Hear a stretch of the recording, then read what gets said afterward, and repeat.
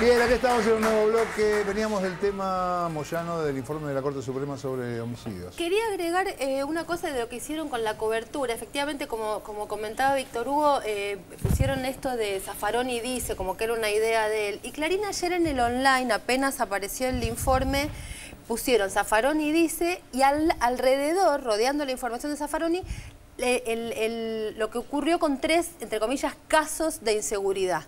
Como diciendo...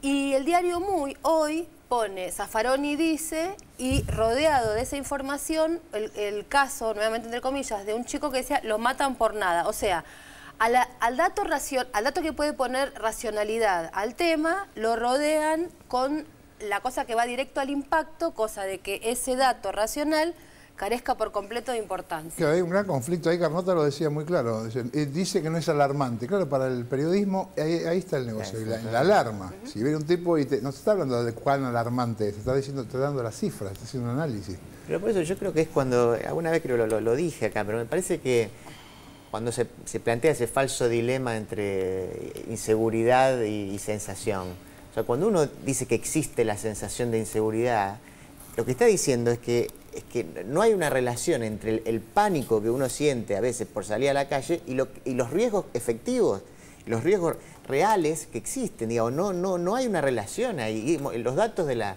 de la Corte en eso son, son muy claros. Además, en el caso de homicidios dolosos, que son, son, son eh, ejemplos digamos, que son completamente distintos a lo que son los robos, hurtos, que se denuncian menos o más. Pero digamos, acá son datos claramente datos, datos duros, y lo que pasa es eso, cuando uno lo corren diciendo, al estilo de lo que decía Mariana recién, ¿sí? ah, no, como si fuera el dilema de, están los que dicen que la, inseguridad es solamente una sensación y los que dicen que la inseguridad existe.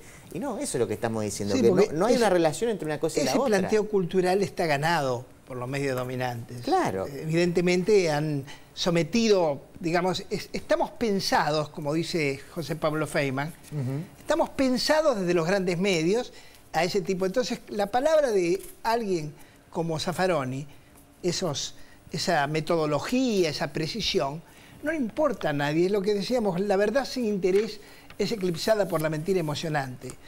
Entonces es imposible porque hay una sensación del miedo que la gente quiere, es como si se regustara con el miedo.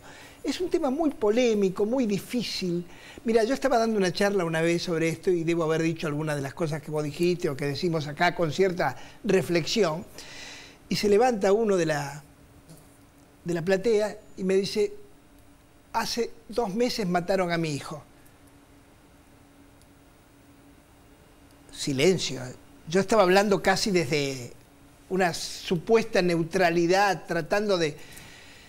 Y sentí que me desmoronaba. No tenía palabras. Frente a ese argumento de demagogia emocional, no tenés palabras. Entonces, que ante la víctima no tenés palabras. Claro, claro.